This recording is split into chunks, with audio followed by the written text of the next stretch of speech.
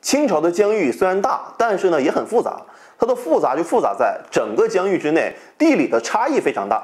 在和大家聊汉朝时期西疆的时候，我们就聊到过，不同的地理环境会导致当地的文化差异非常严重，意识形态也会被割裂，这样统治起来会很麻烦，因为你同化它需要时间，剿灭它又不现实。所以清代之前的大一统王朝会采用羁縻的方式，也就是主权在我，管理自便。但是在清朝时期，内地的各个民族区域的融合已经完成了一半。这个时候再羁縻，那已经积不住了。那清王朝是如何解决这个问题的呢？在前几天我们聊过清朝疆域的扩张过程，里面就重点提到过清朝与蒙古的结盟，然后进一步融进西藏。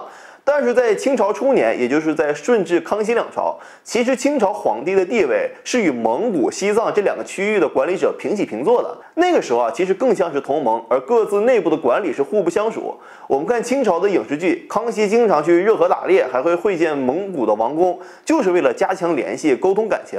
大清是大哥，其他人呢是弟弟。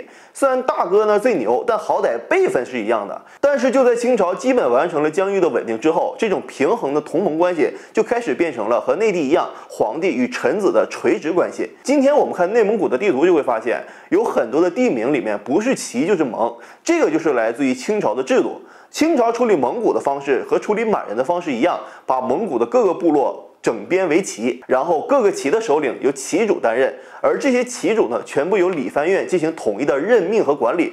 划分旗还不算，在旗的基础之上还有盟，盟主也归理藩院管理。设置行政单位的同时，清朝还会派不同级别的武将领兵驻守，比如乌里雅苏台将军，这个职位是清代在外蒙古、唐努乌梁海与科布多地方的八旗最高军政长官。还有伊犁将军负责监控漠西蒙古。在完成行政管理之后，清朝把藏传佛教全力灌输给了蒙古人。满人本身啊，其实对藏传佛教并不感冒，甚至还有点讨厌。乾隆皇帝就曾经亲自下场讽刺过他。但是蒙古人呢，却非常听话的皈依了这个教派。很多人都认为蒙古力量的衰弱，就是因为信了这个奢靡而且还非常惑众洗脑的宗教导致的。就这样，困扰中原的蒙古人民彻底失去了威胁南方的力量。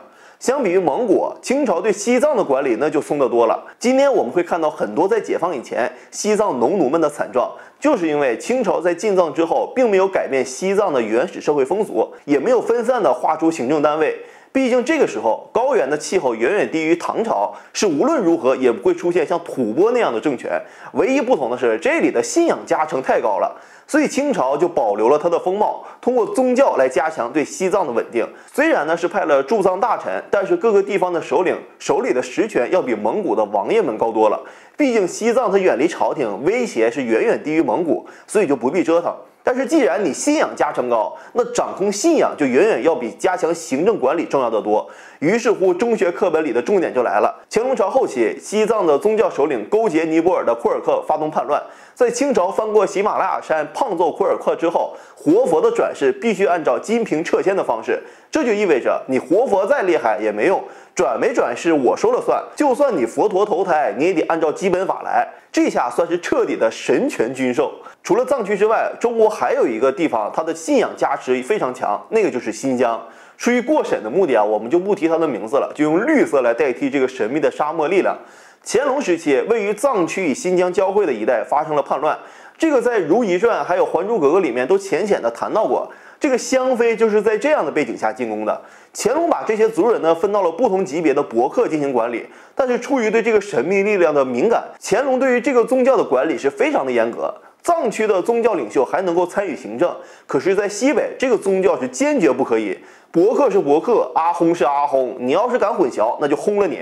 如今我们再看看清朝对这些区域的管理，客观的讲，在农业社会时代，清朝其实已经做的算是不错了。特别是对西北宗教的强力压制，把政教分离这个自古以来中国人就不断坚持的原则给灌输了下去。这下让一个复杂的多民族国家稳定完整的运转了起来。